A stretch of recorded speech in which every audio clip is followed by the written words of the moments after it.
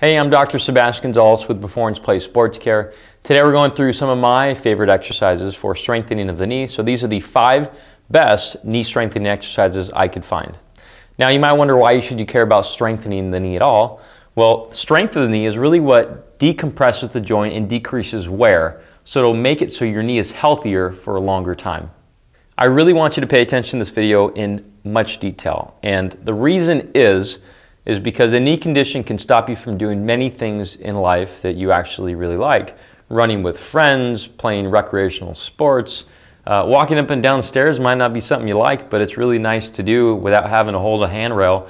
So pay attention to these details. I promise you, you will not be misled. And this is probably the best information that you're going to get outside of a doctor's visit that you have to pay a lot of money for. Actually, I take that back. This will be better than that because I will go over more detail and spend more time, probably today, than you'll get at some of your doctor's offices, minus the best ones.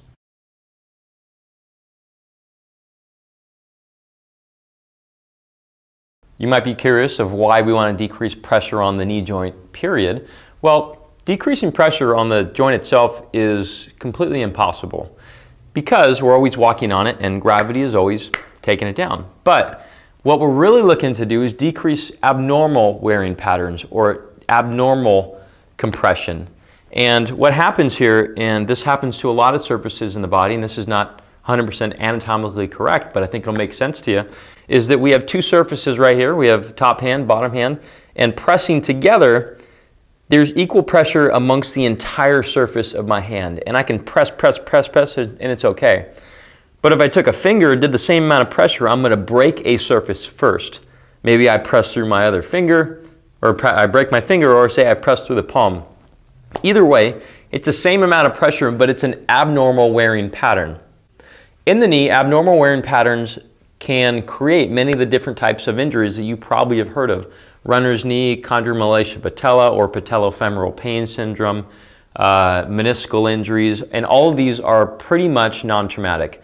Obviously, you can have trauma, like someone came and hit you in the knee, or you fell on it and twisted it. And these are conditions which would be trauma, which would be a little bit different than the mechanism I'm talking about. For the most part, many of them are non traumatic. I would gamble and say 75% of knee injuries are non traumatic.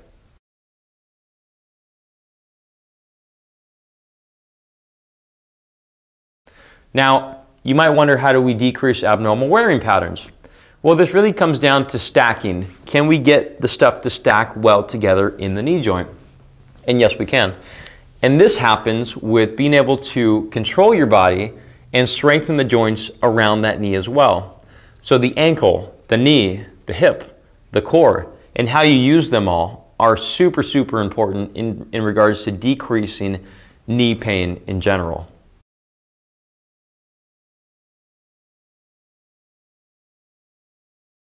Now because of this, the exercises I'm going to show in this video are all what we call closed chained exercises. So my foot or the therapeutic foot or leg will be on the ground. And you might be thinking throughout these videos, you're like, well, that's not specific to the knee. Well, no, it's not. But it accomplishes ankle, knee, hip, torso. It gets all of them. And these might not be the right exercises for beginning knee injuries, but it is definitely the ones that we have to hit at some point. Now, these videos, again, because I, I, didn't go through the acute stage injuries or the beginning injuries, these videos, because they're on YouTube, they're very, very um, section, or sectionalized. Typically, when someone comes in with a knee injury, there's a much larger program and progression that we use for, this, for these types of knee conditions. And keep that in mind that YouTube doesn't allow us to put two-hour videos online. Uh, and honestly, a lot of people get lost in regards to attention span. So we have courses like this online that we're developing. So if you're interested in looking at what we do in the office in completion of a knee injury, go to p2sportscare.com slash courses and you'll find all of it there.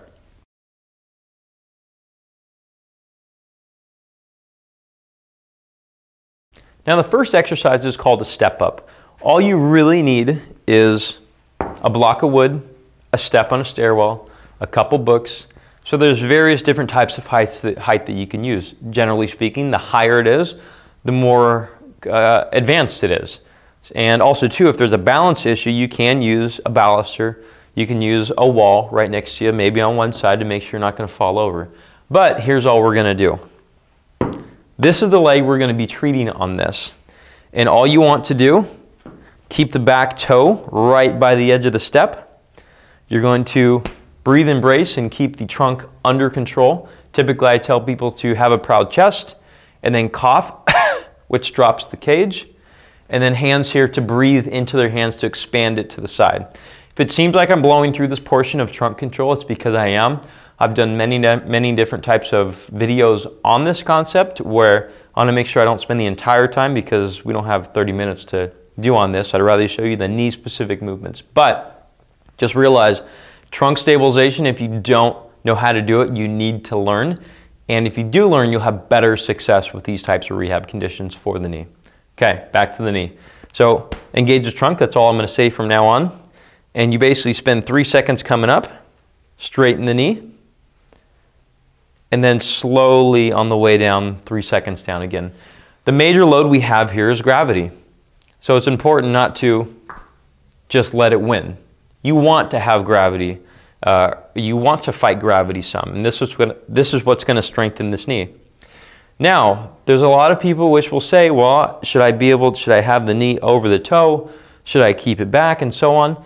And honestly, most people that have knee conditions fare better with the knee not past the toe. But that doesn't mean that we can't do it. And we should do it at some point, but it might be too advanced for you. So if you're too far back here, you won't be able to get the leverage to come up. You're going to end up sliding forward to do it anyways. But on the way down, try to keep your weight back, back some. And you can restart back here with the toe on the box. So drive up, hold for three, slow on the way down. Now back onto that concept of being able to actually have the knee over the toe. If you actually do walk upstairs, you will bring the knee over the toe, which is a normal motion that we do every day.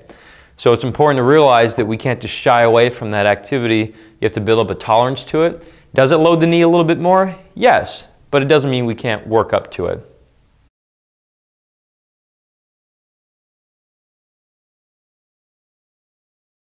Now the next one is called a small knee bend and oftentimes to teach this in the beginning we teach it right on a wall or a post or something like this. I apologize I had to tuck in my pants or tuck in my shirt because uh, you're going to have better visualization of this one if I do. So I strongly believe against tucking things in period but uh, I'm going to do it just for you. So basically how we start this one, by the way, uh, before I start, notice that my knees will go past my toes in this one and this is to build up a slight tolerance to it. Obviously, if this one hurts, you, then you stop. But if things hurt, you should probably go see the doctor anyways. So you'll see the disclaimer at the very end. So what we do on this one is we bring the heels right by the wall, the buttocks on the wall, and the mid back. And this is a good starting point. Breathe, brace, and hold this whole thing, the whole thing together, just as how we talked about in the other videos. And all we're going to do, I know there's both sides here, or the only, maybe only one side with knee pain. But this is this, we're going to do both in the beginning. Now, typically what you want to, what we want to do and why I showed, uh, why I have this tucked in is because we want to establish a slight forward lean from the hips. Okay? It's not going to be rounding from the back. It's slight forward lean from the hips, and it's not a lot. Okay? And you're going to do that as you come down. And I'll try to put my hands up here so you can see the slight forward lean I have. And this is all I really want to go. Notice the knees are past the toes. Slowly come up, three seconds. Down, one, two, three. I'm getting that forward lean here. Pause. One, two, three. Stand up tall. Just things to think about is proud chest here, breaking at the hips, keeping the hips in contact with the wall, and then stand up straight and tall. Make sure you're breathing throughout if it helps, you should do the same types of cues that we do on the other ones as well.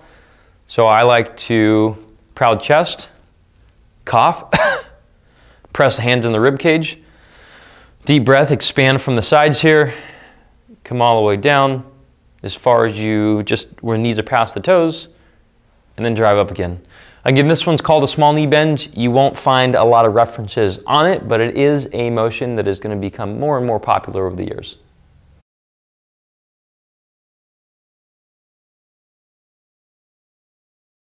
A lunge is another complex movement that we really need to have control over. A closed chain complex movement we need to have control over to strengthen the knee properly. Now, there's different ways to do lunges, and actually in our online course we have progressions of this because obviously you'll get past it at a certain point. Um, but the one we sometimes start people on is just having a split stance like this. And make sure that I'm perpendicular to the camera here. Now, you want to make sure that when you do this, it's you are driving the knee downward and obviously it only goes to the ability of your knee or of the structure itself. Now the reason why I have this cup is because you kind of want to have something to target because I'm telling you it's not uncommon for people just to go like this and slop all around and do everything crazy but realistically you just need to do, remember a couple things. Breathe and brace like always. Proud chest. Exhale. Hands here to breathe through the sides. By the way, if you have balance issues, you can do it against a wall. Typically, people will kind of fall this way or away from the legs. So in this case, I would have the wall on my right side. That will be helpful to you as well.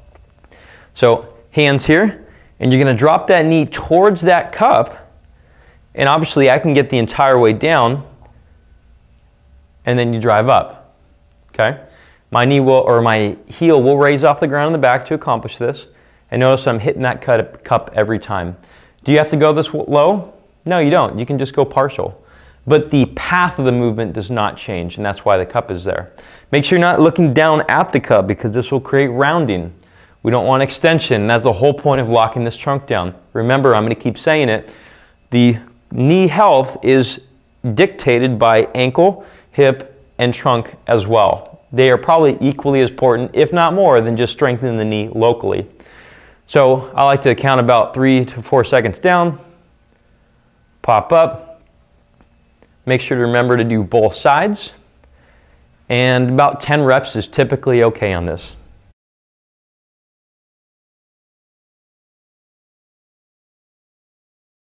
So squatting is the next one. We like to use box squatting to teach how to squat properly.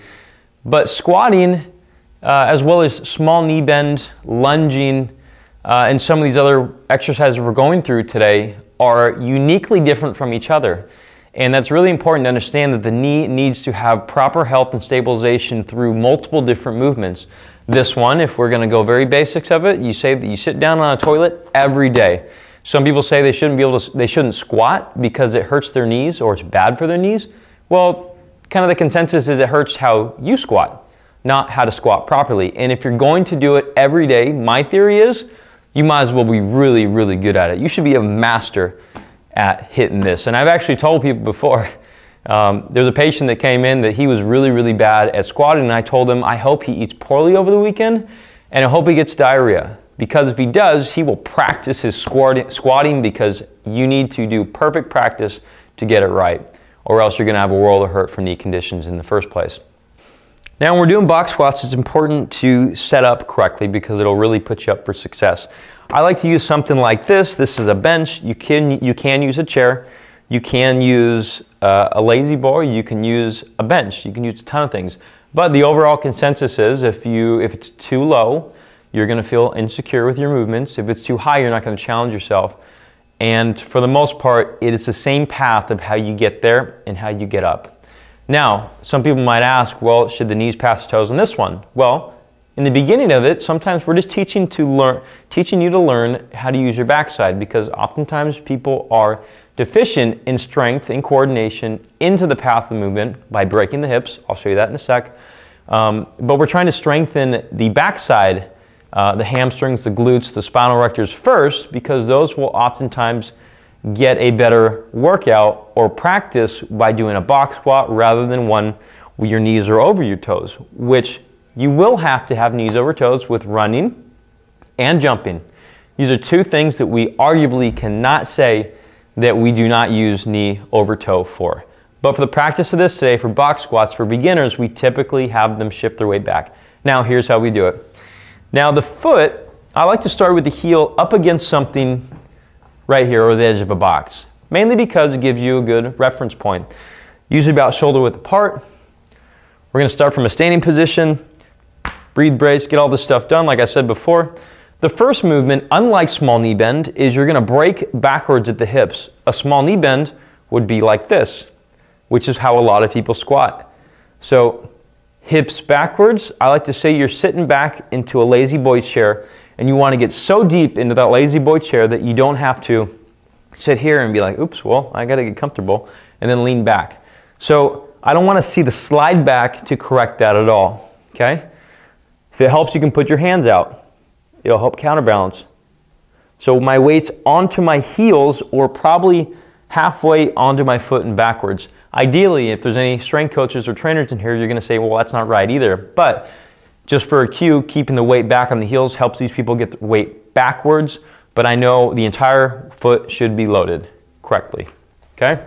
So all we're gonna do is hands out, drop the hips back, deep in that La-Z-Boy chair, and notice that my trunk position here is the same as how I started. I could have had a bowl of peanuts on my shoulders and it would have been okay. A common mistake is people go like this and they're like, oh, okay, I'm done. I'm great, I'm done. And they start getting into a rounded posture. No, this should be straight as a 2x4. We're using the hips to drive us up and down, three to four seconds down, pause, and drive up. On your upward drive, you should be driving with the cheeks here, and I tell people that they should be able to you know how people can dance with their pecs and they go boom, boom, boom, boom, boom, boom, boom? Same thing here. You should be able to contract each cheek individually, crush a quarter into a bunch of nickels, just crushing it, and then you drive up and you're still crushing that quarter between the cheeks. I know it seems ridiculous, but these are some of the cues that we, how we get people to engage their hips, which is one of the most important things when it comes to knee conditions. Usually I have people do this about 10 times or so. Um, the load is based upon what the tolerance level is, and obviously there's other points of squatting that we could address, such as knee cave and whatnot, but for the sake of this video, we're looking to drive our hips back. There's a more comprehensive course on our site.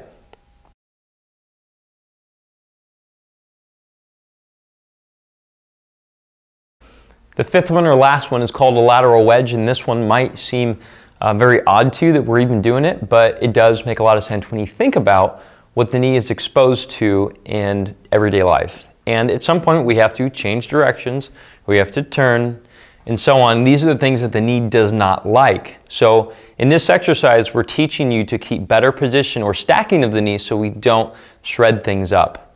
This is a non-movement based exercise. You're holding a position, so find the correct position before you start to emphasize drive. Now, I'll show you from this angle, and then I'll show you kind of what it looks like from the side, okay? All you do, one foot on the wall, a wall, something that won't fall down. Come wide with this one. I'll pull these up just so you can see. Elbow on the side here, notice that my hips and my shoulders are not really changing position here. I'm not leaning in or anything like that, which is gonna be the fault that I find a lot of people do. So from here, I want you to test and just bring this foot up right here. You don't have to bring it up very far, but you'll see as soon as you do this, this trunk on this side is going to engage. And if it's really weak and you try to get away from it, you'll try to do this, which you should refrain from. So here's what we're looking for. Elbow on here, ideally if I had the rest of the wall, I'd put my palm against it as well and press into the wall. Lift this up. See we don't get that high. Slightly unlock this knee, slightly, just for, just for safety and you keep all this flush here, press harder into the wall and the ground if you can tolerate it, and make sure you're breathing. And then break. And ideally, if you do it right, you'll see that my position does not change from here to pressing harder to relaxing. That is what you're looking for in this. And as you have this vector going this way, we're basically, basically taking the knee and creating some rigidity amongst that line force. Now, you might get questions, well, I don't know if I should have the knee inside the ankle and so on. And yeah, correct, when we're looking at squatting or movement this way. So you don't want to go like this. But when it comes to changing direction, you have to offset that vector going the other way. That's just the way it works, and that's how we prevent knee injuries. Now looking from the side on this one, uh, I won't be against the wall, but I want to make sure that you see that the knee is slightly unlocked. We're not locking it down completely because that's what you'll do just to try to post up And if you think about the Star Wars, uh, one of the, gosh, I don't know which one it was, but I'm sure Star Wars junkies on this will just read me for not knowing. But when they got stuck in that trash compactor and they just wedged themselves up into the side because they didn't want to get crushed, this is basically what we're trying to do. We're creating a wedging effect, but we don't want to lock it out to break our bones either. Now don't forget to subscribe. I hope this was helpful. You will get all of the videos as they come out. I'm trying to make better and better ones every time, so please subscribe and don't forget to like it. Like and share this video. You'll help me out a ton. Thank you so much. Now, if you have any questions for me directly, you can obviously put them below and I will answer them as they come. But if you really want to help out the masses and help everybody out on learning about knee conditions, go onto the site, p2sportscare.com. There is a area to put a voicemail. The voicemail goes to a public, um, it will go to a public uh, broadcast or a our Performance Place Sports Care podcast. So if you're okay with all your information and your voice being on air, that is where we can answer things really in detail because really on the internet or satellite without examining people one on one, we're not technically allowed to give any advice. And I know it sounds super stupid, but it really happens. So, and that is a real, real law that every doctor has to follow. We're not trying to be distant about it at all or not care. I want to help as many people as we can, as I can. The podcast is the easiest way. YouTube is probably the second easiest way because, gosh darn, it takes a long time to edit these videos and make sure that I gave the best information I was presentable to. I always got to do my hair for these and not the podcast. So take care. Don't forget to subscribe and share this video.